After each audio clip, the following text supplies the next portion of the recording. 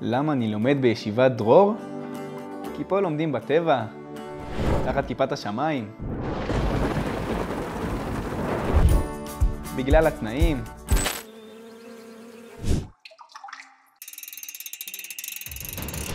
וברצינות, למה אני לומד בישיבת דרור? כי ישיבת דרור היא בית של תורה. ישיבה עם לימוד עוצמתי. ישיבה שמחנכת אותך לגדלות. עצם ישיבתנו בבית המדרש ושאנחנו לומדים תורה, הוא מאפשר לנו לקיים שני מצוות שהן שקולות כנגד כל התורה כולה. בראש ובראשונה, מצוות תלמוד תורה, ותלמוד תורה כנגד כולם. והדבר השני, זה מצוות יישוב ארץ ישראל. מוסד חינוכי מביא אנשים. אנשים שבאים ללמוד תורה, אנשים אידיאליסטים, הכלל יותר חשוב להם מהפרט, וזה מהות של היישוב דרור. הגרעין הזה כבר 17 שנה, עיניו נשואות למקום הזה, ומה שמחזיק זה בדיוק הדברים האלה. הרוח, האידיאולוגיה, זאת הישיבה.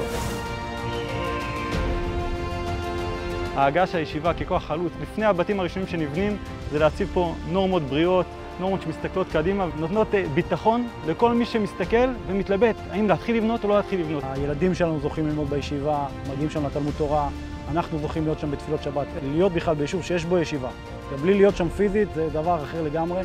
ישיבה בתוך יישוב זה לא איזה יתרון או משהו כזה, זה חובה, זו הדרך לעשות את זה, זו הדרך להקים דברים בגדלות. אל מול התוכנית הערבית הגדולה של רצף התיישבות ערבית, מלבנון, דרך יהודה ושומרון, על ידי התיישבות הבדואית ומצרים, הרצועה הזאת של ההתיישבות בדרום הר חברון, שהיישוב דרור הוא חלק חשוב ממנה, באה לקטוע את הרצף הזה בצורה ברורה וחד משמעית. כשאני רואה את התלמידים שלנו בשבתות לומדים עם הנוער החביב של היישוב, אז אני רואה את העוצמה של הישיבה בגדלותה. היחס האישי, חיבור לרבנים, החיבור לעשייה, באמת ההרגשה שאתה בעשר האצבעות שלך חלק ממשהו גדול.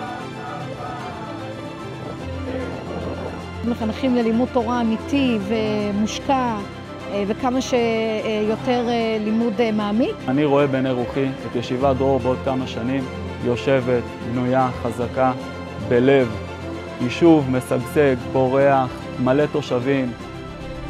ברוך השם, ישיבת דרור גדלה וצומחת. אנחנו רוצים להוסיף לגדול על ידי בנייה של בית מדרש חדש ומרווח, חדרי שינה נוספים ושיפור התנאים עבור התלמידים. עזרו לנו להפיץ את האור הגדול של ישיבת דרור.